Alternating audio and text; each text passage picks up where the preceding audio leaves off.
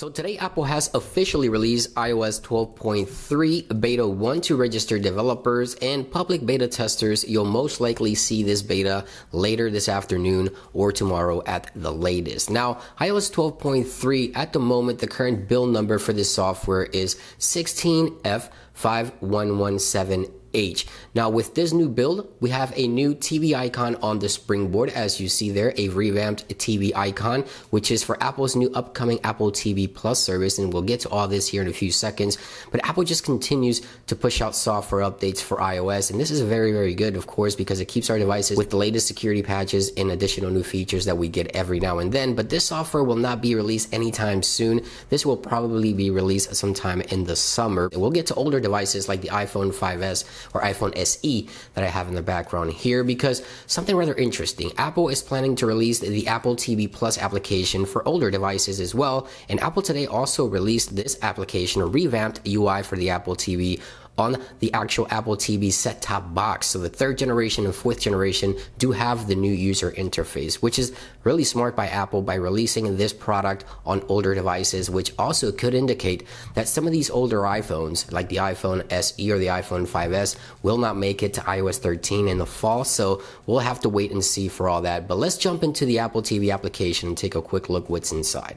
Now on the top, you find right there your account where you can manage your account directly on this particular category here all the sources and applications that may be uh, linked to your Apple TV Plus service will be here. You can toggle those on or off, manage subscriptions, you can redeem gift cards, add funds to the Apple TV, clear play history, and signed out is also in this category right here. So on the top, the first thing you find here is all your categories, your movies. You also find TV shows right here, and we have some sports.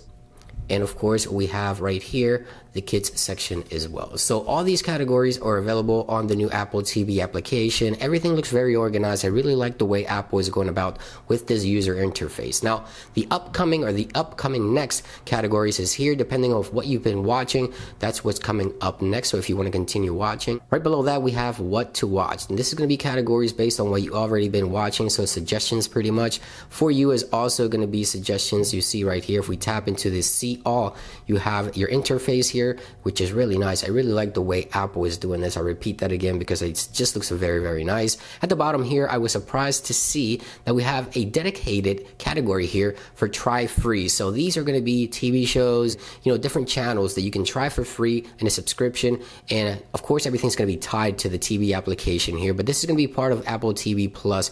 So I'm really happy to see that there's a lot of channels joining the try free categories there. You have your features. You also have Hulu integrations, a ABC, etc. You have tons of categories to choose from here. So Apple is definitely getting really serious about this TV service. If I was Netflix, I'd be worried. Anyway, the library category is here depending on everything you've been watching. That's going to be resigning right there. And then you have your search categories, which has your trending tab and then your trending TV shows right there as well. You can go ahead and start searching right away. So if we want to search for something, there I'm searching for South Park. So it's giving me South Park there at the top and you have other suggestions based on what you're start typing, of course. This is just a very quick first look at the TV application. Again, Apple will most likely continue to add features to this application. If we head on over here to settings and we scroll down, you find here the new TVs category as well with the new revamped icon there for settings as well. So if we jump in here, right here, we can manage our notifications for the TV service.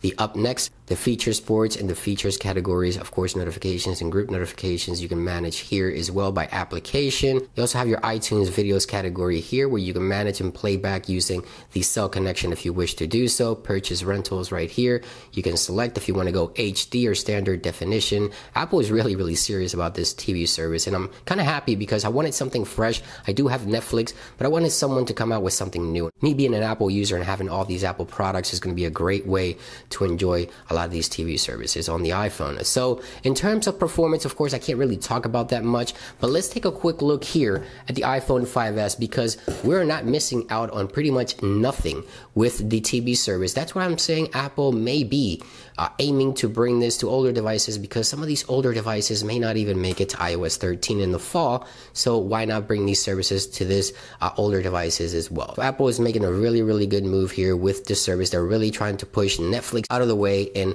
be king of the TV service because they have their iPhones and they have their iPods and their iPads and they know they have those customers. So just a quick first look at iOS 12.3 beta 1. Of course, I will continue testing the software, the battery, any additional new features. I can't really talk about a whole lot of the software because I've only had it installed for about an hour or two and I've just been browsing through it and playing around with it for not a very long time. But of course, the follow up video will be headed your way uh, by the end of the week, so be sure to stay tuned for that. Thank you for this quick update on iOS 12.3, and I'll see you guys on the next one. Peace.